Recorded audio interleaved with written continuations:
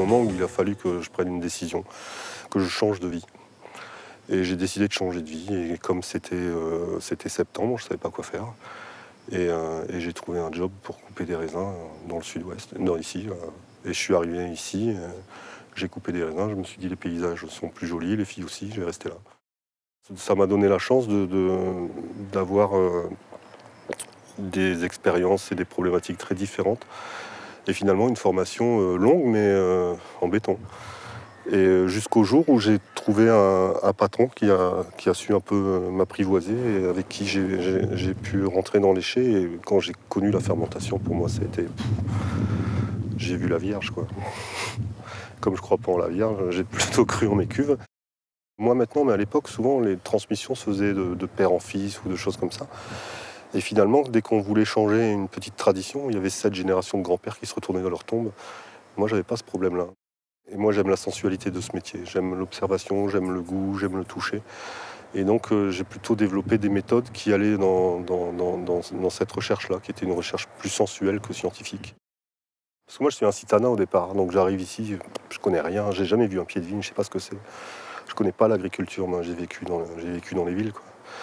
Euh, et, donc, euh, le fait de, découvrir euh, et d'être confronté à la nature, parce que la nature, c'est pas quelque chose de gentil, la nature, c'est violent, c'est une hyène, c'est un serpent, c'est un, renard. Wine on Tour, le nom du livre, parce que parce qu'on vit un peu comme des, on vit un peu comme des rockers, quoi, et, qu'on est tout le temps en route et, à, passer du temps, aller de pas de ville en ville, je dirais, mais de parcelle en parcelle on peut être euh, aujourd'hui à, Sainte-Colombe et, demain dans la région d'Istanbul et, trois jours après à San Francisco et, revenir par le Liban. C'est n'importe quoi et c'est moi c'est n'importe quoi, c'est cette espèce de, de bordel en fait, j'adore ça.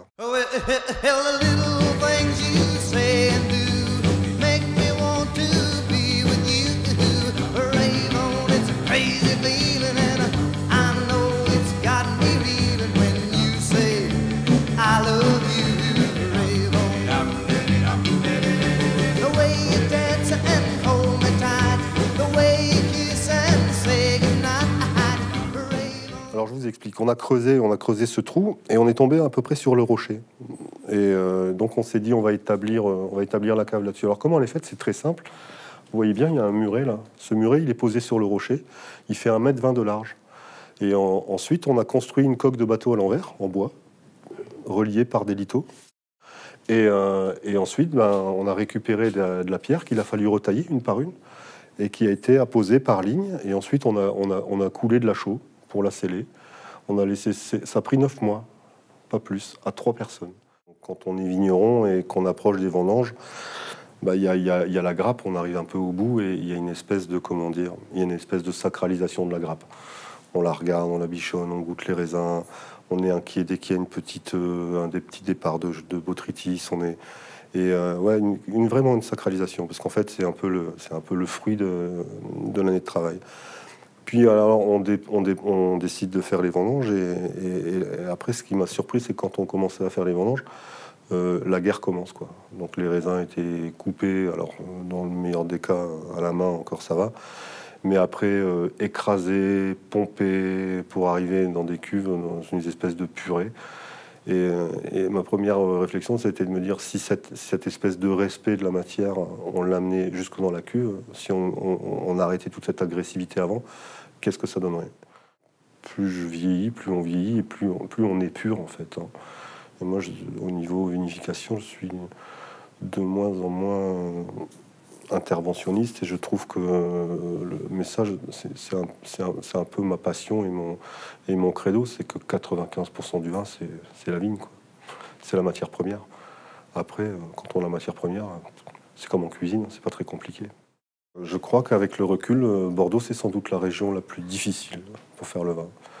Euh, simplement parce qu'on a des vignes qui sont un peu à leur limite septentrionale et qu'on a un climat qui est très influencé par, euh, par l'océan, très humide. Bordeaux, c'est le vin et c'est les cèpes. Les cèpes, c'est un champignon, le botrytis aussi. On aime la bouffe, quoi, et qu'on a la chance d'aller dans des pays où on trouve des choses magnifiques. Donc, donc ici, c'est devenu aussi un endroit où où les capres viennent d'une île grecque, où l'huile d'olive vient de Toscane ou de Sicile, où le jambon vient de fin fond de l'Espagne, et on ramène de chaque pays un peu les, les choses qui, qui font que, que, parallèlement au vin, on a la passion de la gastronomie et forcément, et forcément des produits.